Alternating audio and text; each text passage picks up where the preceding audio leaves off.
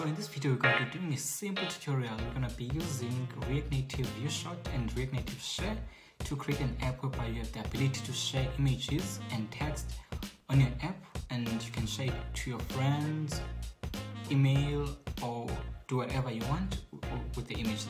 So let me show you a demo of what we're going to be making. So this is an app here. You can see the two things. There's an image and then there's a share button. So once you press on the share button, it takes a view shot, a screenshot of the image, and then you can do whatever you want with that. You can send it to friends, manipulate it. Pretty much, it's unlimited what you can do with it. So some people might see this format of styling here to be familiar because I use the same styling for a React Native video or tutorials I made whereby we use DALL-E 2 to generate images. I'm gonna put a link to it in the description and you might see it popping up somewhere here. If you're looking forward to this video, give it a like, subscribe, and let's go. Okay, so we're gonna start off with a boilerplate app. So this has been created using the default React Native init command, and then it just gives us this app. So we're just gonna delete everything here until we have something which is empty. So Control A, delete everything. Then I'll use React Native uh, snippets, which is RNFES put that there this will just give us a default app that we can set with. So from here we're gonna need two libraries uh, in order to have that share functionality. The first one is react native uh, viewshot. And then the second one is react native share. So both those libraries allow us to have that share functionality. So what i'm gonna do now i'm just gonna install those two libraries so just gonna open the terminal. And then go yarn add react native.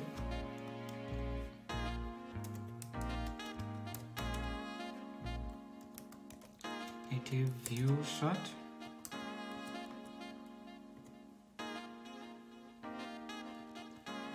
Okay. And then we're also gonna React Native share.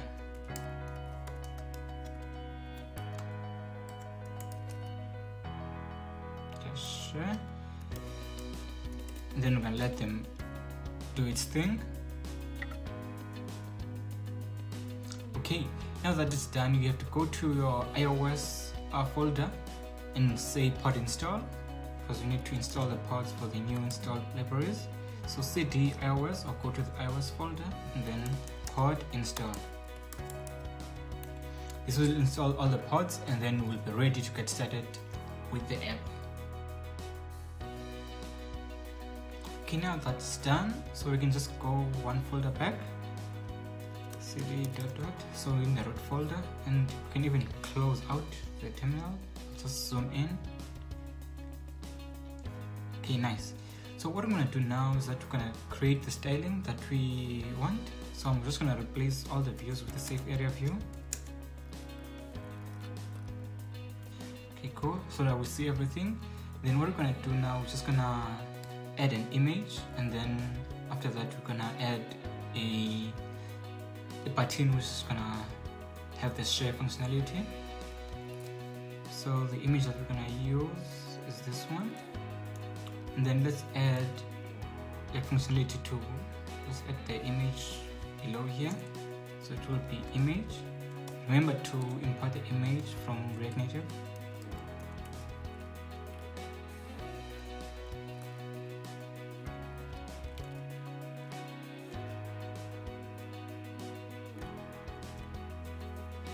okay what's gonna do next is gonna add a button which will allow us to to share so it will be touchable opacity so we have to import a touchable opacity here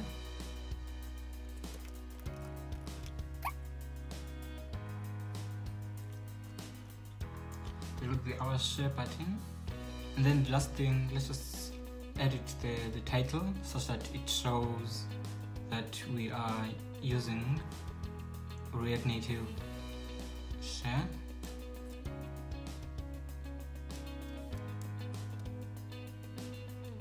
So what I'm going to do now I'm just gonna add all the styling together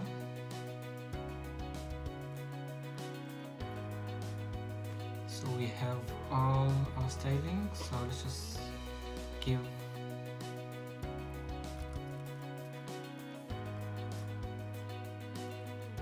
Okay so we have our image here and then we have the share button but it does nothing so it's time to add the functionality. The share button is here. So we're gonna add an on press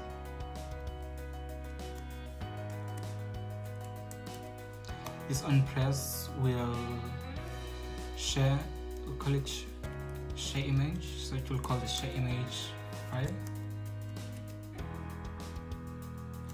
So we have to create a function which is called share image.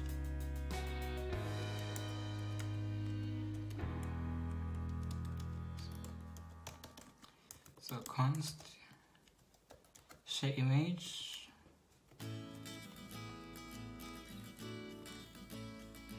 and then let's just talk about the, the share image function. So basically we're going to be using react native view shot to get the function to get the ability to share the image to capture the image. And then we're to use the react native share to share like the image that we've just captured. So i'm just going to import both of them. So react native view shot has two APIs. The first one is called ViewShot, the other one is called CaptureRef. One is an imperative API, so that means it does more, slower level, and then ViewShot is just a simple way to just take the, the screenshot. I'm gonna choose to use the CaptureRef because it works better on both platforms and you get additional features with it, even though some of them we're not gonna be using here. So okay so what I'm gonna do now I'm just gonna write that function to like the ability to to share the image using React Native ViewShot so it's an async. So we have to make our function our function an async. Then we have to try and then catch the errors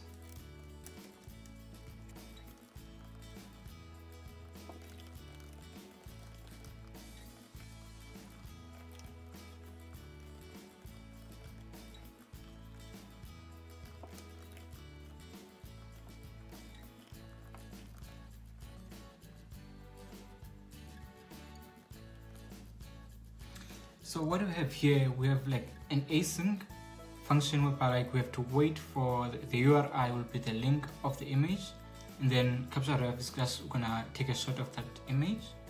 But then what will happen now, we need to have an ability to reference or to take a snapshot of whatever we wanna take a picture of. So that's why we have to use a use ref to just take a reference of the image that we're gonna take an image of. Then we're gonna use that image. So I'm just gonna go to the top and then import use ref from react.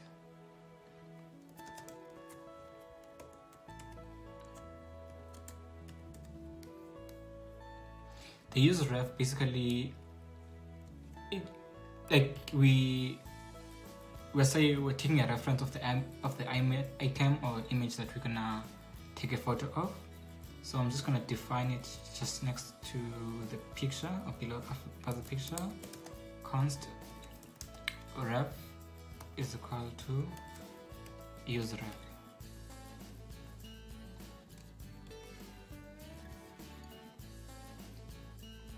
So now we, we can use that ref wherever we wanna take a, a snapshot of something what I'm gonna do now we're gonna use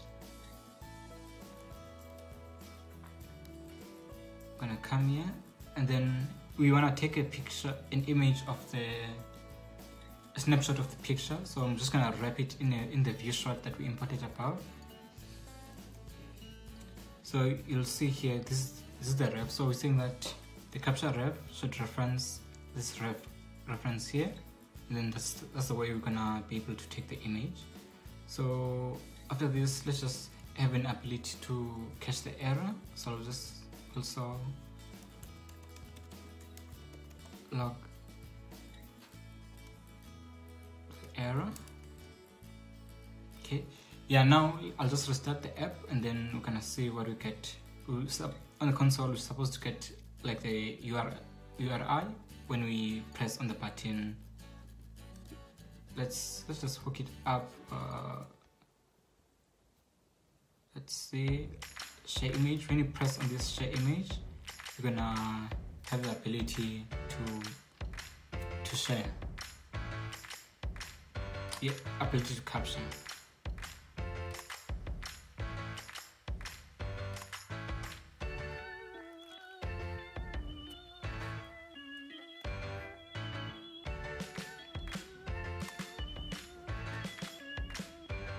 okay now the app has restarted when I press on share on my console log I see that the image is being shown.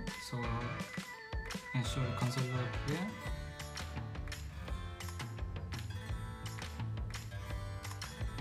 So once I press on share we get a console log. So we want to share this URL which is on the console log. Uh, so that's the part that we're gonna work on next So going back to our function there, which is the share image function. So we first await the URI, and then when we have the URI, we want to share that URI. So that's what we're gonna do now. So remember we imported this share here, so we're just gonna use that. So it's also gonna be an async, so we're just gonna await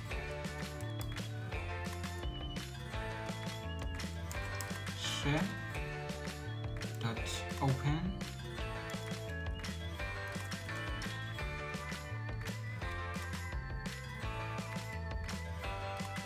URL which is pointed to URI. So in this function, in this method here, you could have used the default React Native method for sharing, but the problem is that it works only on iOS. On React Native Android, it doesn't allow you to share images, only allows you to share pictures. So that's why I went with the separate library for sharing. So like now when I press on share, we should see the share dialog come up. And there we see, so you have the ability to share and then you can share this image to your friends or you can even save it to to the files on iOS. On Android you have to do it separately. So that's it for this video. If you liked it give it a like subscribe and I'll see you in the next one